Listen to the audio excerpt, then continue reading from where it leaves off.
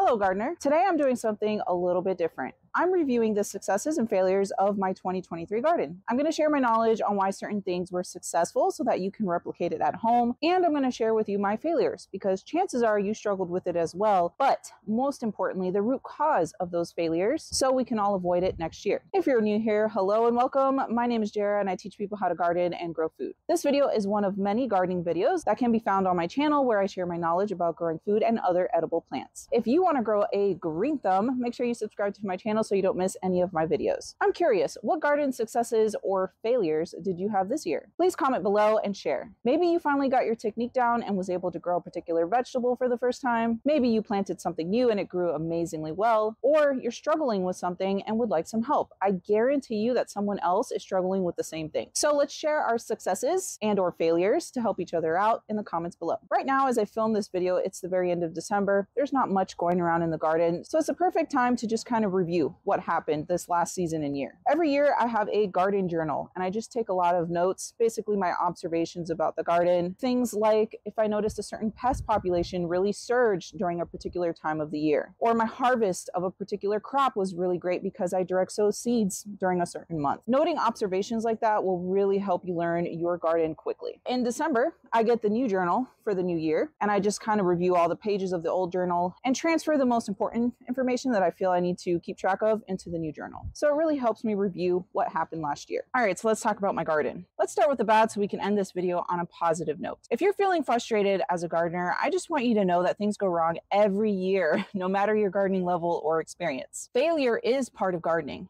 My garden is not perfect. I still kill a lot of plants. I lose crops every year. As time goes by, I learned to hone in on my gardening skills, which definitely helps me be more successful than not. The important thing is that you don't give up and you learn from your mistakes and struggles. You will learn more from your failures as a gardener than the successes because it forces you to analyze the situation and research solutions. I'm going to share a few of my failures and struggles from this year's garden and what I'm going to do about it next year to avoid it from happening or at least as much as possible. The biggest issue this year was the record breaking heat this summer. I think we all felt it no matter where you're located. Heat does a couple things to plants and the garden. First off, it causes pests and diseases to go crazy. So if you feel that you struggled extra hard this year with pests and diseases, well, that's why. On top of that, a lot of plants have issues pollinating or holding onto flowers, which become fruit and veggies later when temperatures get extreme, like over 90 to 95 degrees Fahrenheit. Pollen actually gets denatured or damaged. Or plants, like tomatoes, for example, are so stressed out that they start dropping their flowers, so they're unable to produce fruit. So, how do we remedy these issues caused by higher than normal temperatures? Number one, start planting more heat tolerant or tropical types of crops during the summer. I would not be surprised if we continue to see higher than normal temperatures every year. Plant things that can tolerate it. I look to other subtropical and tropical regions of the world like Asia, South America, Africa, and the Caribbean as inspiration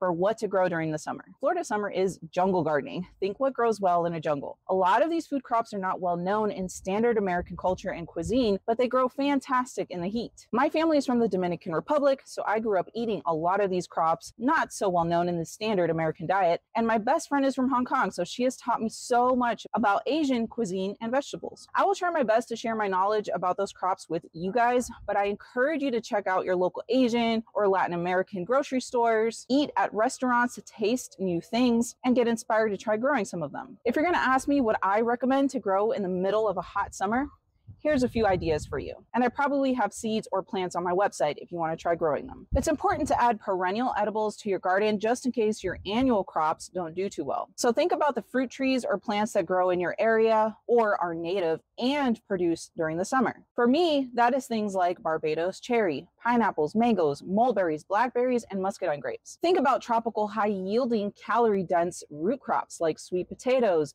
yucca, yams, and taro. The number two thing to combat this heat is to use shade cloth. There is not so much you can do about temperatures, hot or cold, unless you're gardening in a controlled environment like a greenhouse with AC or growing things indoors. But we all can't do that. I can't. The only other thing you can do is set up shade cloth. And honestly, guys, I have never used shade cloth. I really don't want to invest time in figuring that out, buying supplies, and setting it all up. But a lot of you have told me over the years how much of a difference it makes since it keeps your plants a few degrees cooler. It can extend your harvest a little bit longer into the summer months or help plants at least survive the heat of summer so they start producing again once temperatures drop and fall. Since last summer was so hot, I plan on installing some shade cloth over the most heat sensitive plants like my tomatoes and various greens to test how it goes. If you have any tips for me about using shade cloth, please comment below. I would really appreciate it a lot. I learned just as much from you guys as you do from me. This heat brings me to the next failure in my garden this year. I am now starting to see signs of nematodes in my garden, which I never noticed before in all the seven years I have been gardening here. And that really sucks because they are a very tough pest to get rid of. Nematodes are a microscopic worm that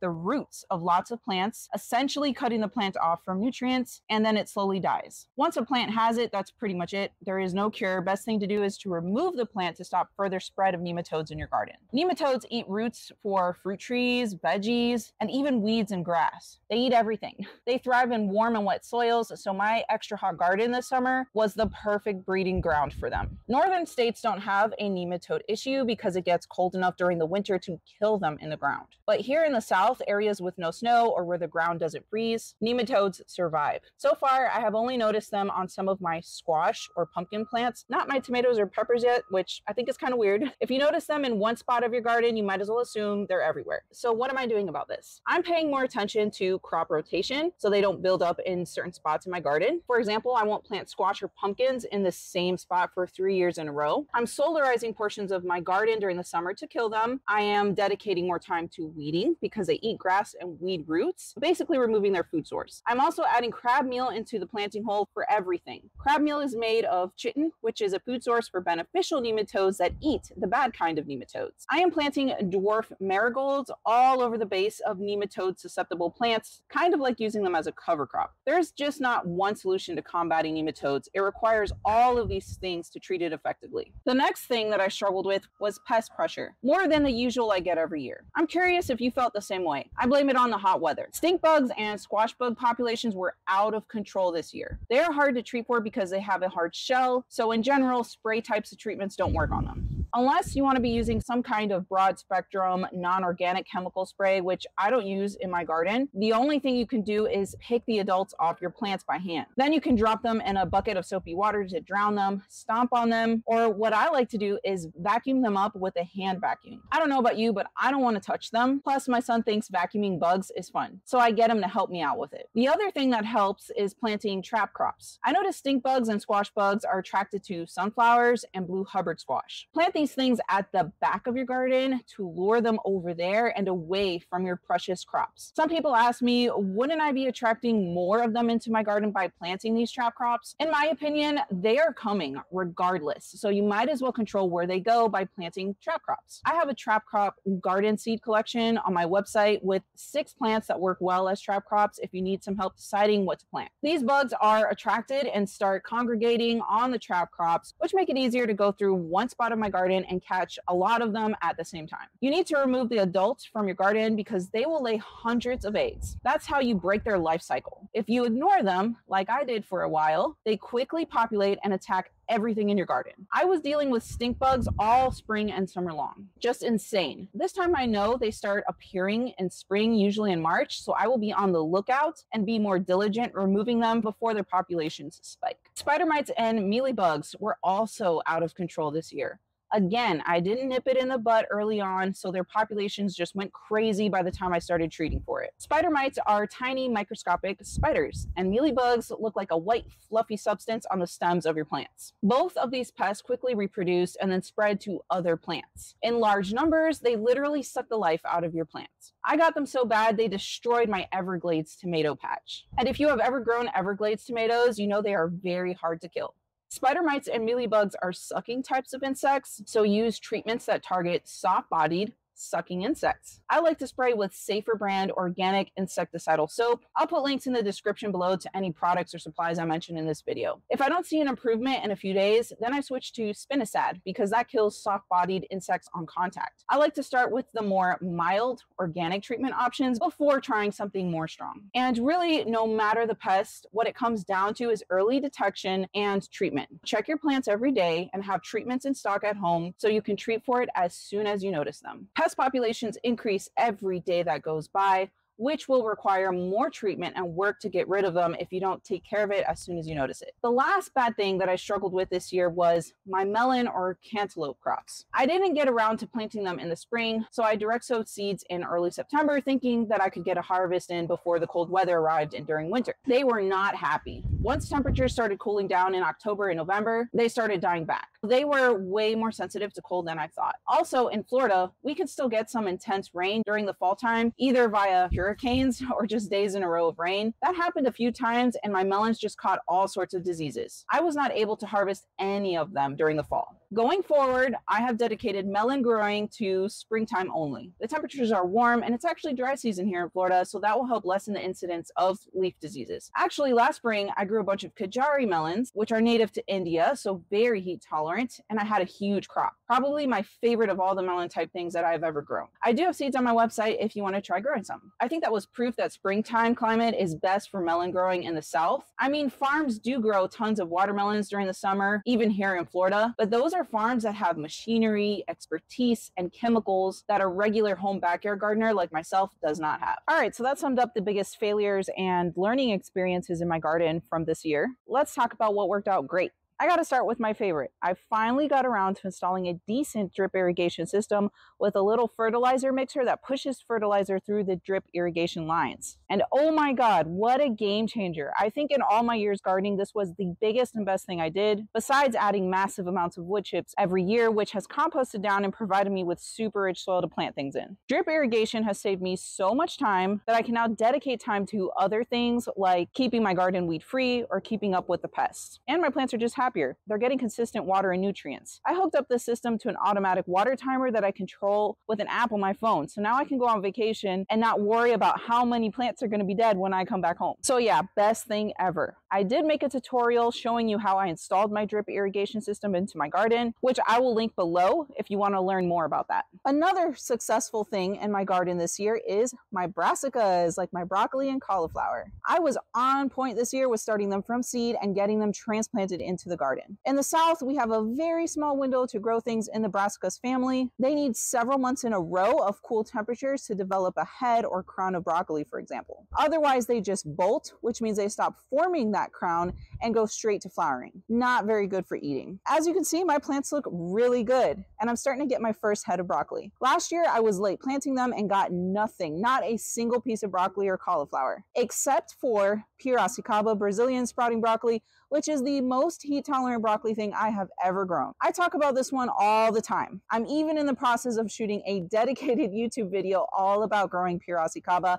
That's how much I love it. I do have seeds on my website if you want to try growing it. Besides the brassicas this year, my fall tomatoes was the best season I ever had. I planted them during Labor Day weekend, so I got them in the ground early and I started harvesting in October and November. I'm still harvesting tomatoes right now in December. I was lucky that this year I didn't get hit directly by any hurricanes because last year I got hit by two of them in a row which killed off my entire tomato crop. So I'm very happy that didn't happen this year. Both my brassicas and tomato crops are proof that planting on time is really worth it. Another success has to do with solarization. I decided to solarize a section of my garden in an attempt to reduce tomato wilt, which killed a lot of my tomato plants last year, and spread of nematodes. If your tomatoes look great one day and then all of a sudden the next day they're wilted for no good reason, it probably got infected by one of the various bacterias or viruses viruses that cause tomato wilt. It cannot be cured and your plants are not going to bounce back. It's best to just yank out the whole plant, throw it in the trash because now it's a host for the pathogen that causes wilt, and pour some hot boiling water into the planting hole. I solarized my garden from July through August, right in the middle of my summer. I wanted it to get hit hard by the most amount of heat and sun possible. And what a difference. I have not lost one single tomato plant to wilt this fall. To solarize, I used a six millimeter thick plastic sheeting. I find that the white frosted plastic works better than the clear stuff. In my experience, I don't know why, but everyone says to use the clear ones, but I find that too much light gets through with the clear ones and the weeds still grow underneath. The white frosted stuff killed everything below it. You can also use other colors of plastic sheets, weed blocking material, or tarps. You just need something that's gonna block out all of the sunlight. Not only did it disinfect my soil, basically, but it also killed out all the weeds, making the area perfect for planting in fall. I plan to shut down parts of my garden and solarize each year during the summer going going forward. Lastly, something that surprised me. If you don't know, I'm also a beekeeper and I raise backyard chickens.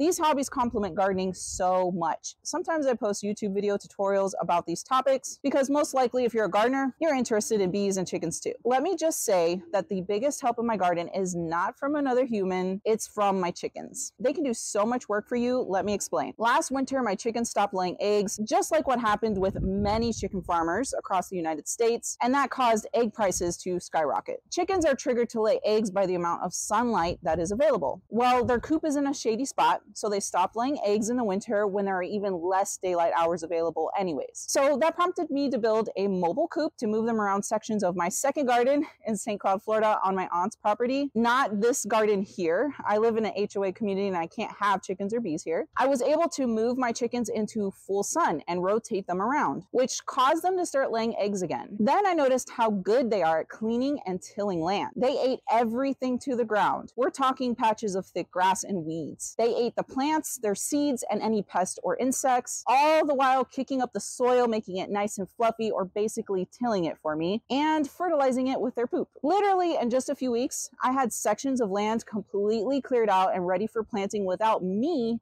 having to do any of that hard work. I know not everyone can have chickens, but if you have been thinking about it, I really hope you get some this year. They are the best pet I ever had and best garden helper. I am in the middle of shooting a whole backyard chicken series for the spring to help you get started and especially share my tricks to automating it all and making it super easy to have chickens. So more to come. But yeah, really enjoying that mobile coop and using my chickens as little garden workers. So this sums up my garden successes and failures for the year 2023. I hope this gave you guys some ideas on what to do or not do this year. If you have any tips, advice, or want to share your own garden experiences this year, please drop a comment below. Don't forget to like, subscribe, and join me in the next episode as we continue to grow together. Happy gardening.